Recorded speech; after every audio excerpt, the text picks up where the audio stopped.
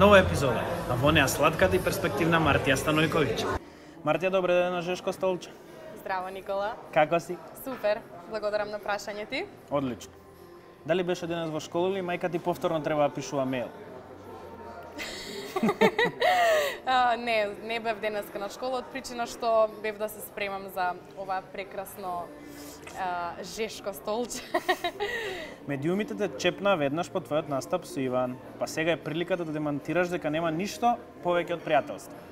да, јас и Иван се знаеме уште а, покрај тоа што се знаат нашите родители преку работата, се знаеме и јас и Иван преку Антонија. И можам, еве, јавно ќе кажам дека се е професионално, се си е на, на пријателски однос, а, си се почитуваме и тоа е се. Како реагираш кога некој сака да ти ја подцени интелигенцијата, да ти прави да мислиш дека не си доволно добра во нешто? Па, генерално, знам со една насмевка, да им се насмеам само. Инаку, ем, тоа што го работам и што знам дека е добро, не ми треба потврда од никој, само ми треба, како да кажам, одобрение или буст од моите најблиски, во кои што најмногу верувам. И така, а на другите едноставно секој си има право на свое мислење, не се многу оптеретувам со со Туѓото мислење? Па да, важно ми е, ама нели, секој си има свој вкус, има право да си избере што ќе слуша и што ќе мисли за за било што, за било каква ситуација, за било какви е, кога станува збор за избори во живот. Се одлади ли дружбата со Антонија Гиговски? Зошто? Па дружбата ни е, не ни е оладена, туку едноставно јас живеам во Куманово, Антонија живее во Скопје и а, може би тоа е причината што не раздели последниве 2-3 месеци да кажам.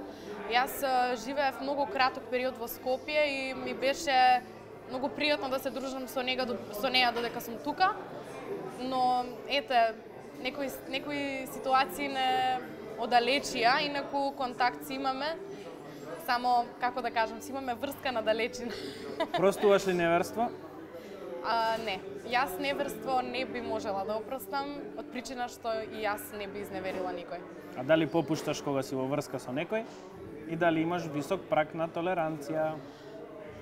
Имам висок праг на толе, толеранција, ако на вистина го сакам а, Партнер. партнерот, а не би, не би било во врска да не го сакам, така да имам. Од причина што сакам да сме среќни и јас и тој. Дали би било со другар на твој бивш дечко? Не, никогаш. Нив, нив ги сметам како ги доживувам како како тој што ги доживува на ист начин, дури како браќа, бидејќи едноставно таков таков однос имаме изградено и мислам дека така и треба да биде и не би не би се опуштила никогаш во во таква ситуација. Дури и последно машко да е на овој свет не. Како го коментираш тоа што некој тоа го прави? Дали мислиш според тебе дека тоа е коректно? Не, јас немам право да коментирам за туѓ живот. Едноставно, секој си има право да си реагира како сака во одредени ситуации. Јас лично за себе не би го направила тоа и не го прифаќам како правилно. А другите, останатите можат да прават што сакаат. Искрено, мене тоа лично не ми менува ништо, се додека се тие среќни и мислат дека тоа е правилен избор, супер, go for it, ама јас, јас не. Не, не би можела никогаш. Имаше настап во интермецо. Дали тоа е почеток на твоите настапи? Па се надевам дека да, јас работам на, на музика, ќе има, ќе има многу нова музика од мене. Веќе како, како минуваат годините, си остварувам некој правец во кој што сакам да се движам во однос на музиката и се надевам дека а, публиката во Македонија, па може би и пошироко, ќе има а, повеќе прилики да ме да ме слушне во живо. Зошто не настапи на Макфест? Оваа година не настапив на Макфест а, поради тоа што не знам, едно, едноставно решив така.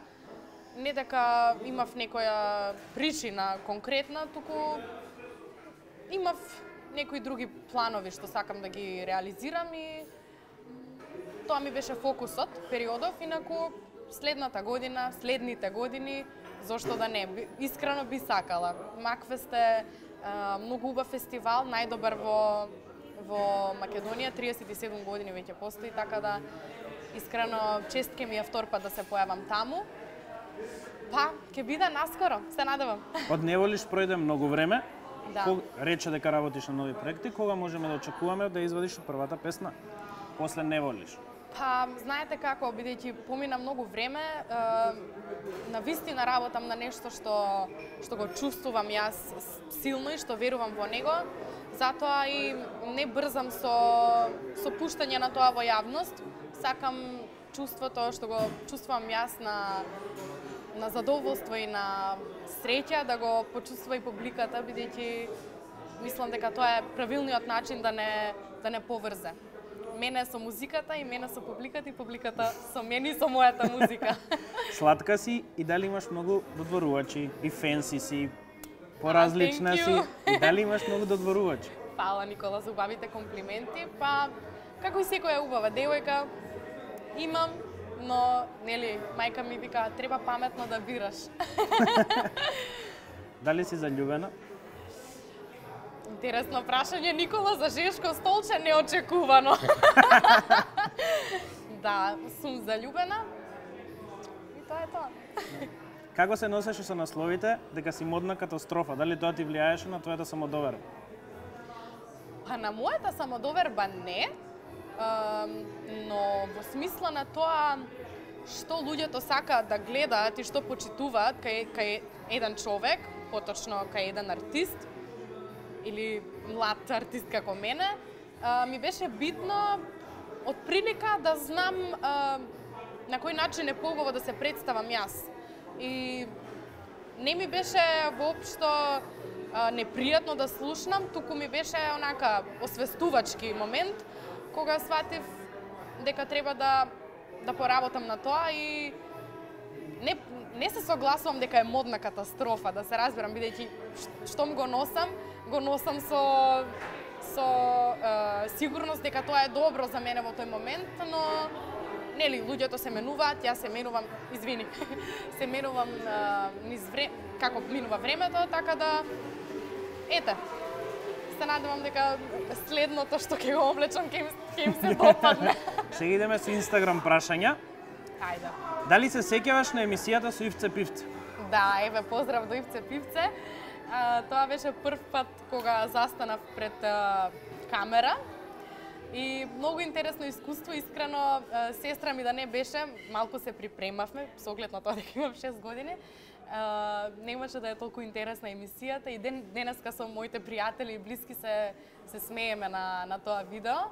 И баш ми е онака симпатично и а, ми се допадна тогаш што Ивце се се спушти на мојата возраст и се шегуваше на начинот на кој што мене ми беше интересно и поради тоа претпоставам дека видеото е интересно. И така, се, се сеќавам. Дали некогаш работиш? Така прашуваат. Дали некогаш работам? Да. Не, Во која смисла? Сакаш ли да пиеш многу алкохол? Никола, не. Не. не, не сакам многу да пијам алкохол. А, сакам по една чашка, чисто за... Не кажеш многу, сакаш малку. Малку, за чашка за, за душа, ајде. Најголема грешка што си ја направила до сега и не можеш да си ја простиш.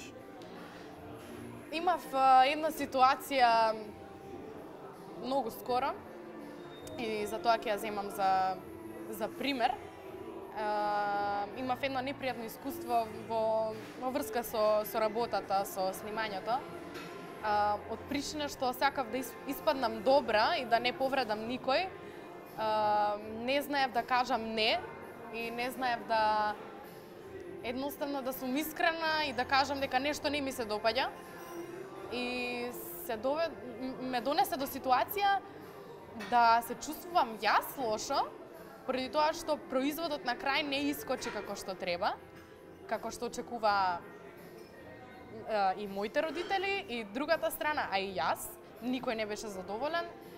И се беше поради тоа што јас сакав да испаднам добра. ама сватив дека во животот треба треба да се заземе некој став и едноставно како што вика еден мој близок пријател, да не јадеш храна што не ти се допаѓа.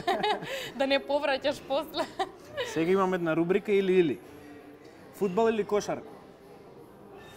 Искрено не пратам многу спорт, но ајде кај нас е поактуелно фудбал, па ќе кажам фудбал. Штикли или патики?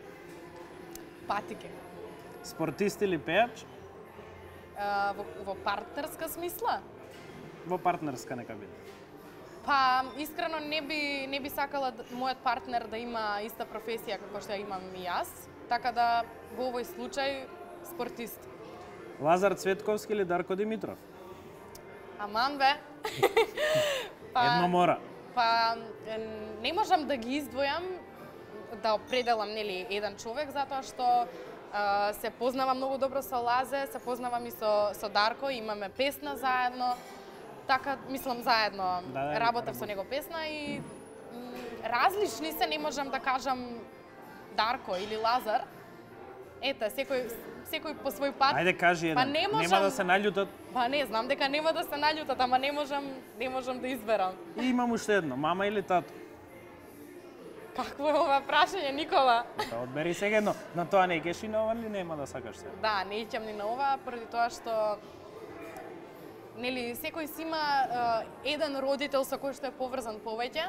Јас е, сум поприврзана со со мајка ми, но тоа не значи дека помалку го сакам татко ми и не значи дека можам да изберам а, приоритетен родител. И за крај што ги им порачаш на твоите фанови? Кај да гледам? Кај сакаш? Тука гледај. А, им препорачувам а, Не им препорачуваш, него им порачувам. Ајде! им препорачувам да пијат бучен Кучен кози. козјак. А тоа сакам да кажам. А, им порачувам а, да работат на тоа што го сакаат, да веруваат во себе и да се обкружени со вистинските добри луѓе за да имаат успех и да се среќни. Фала ти многу. Е така.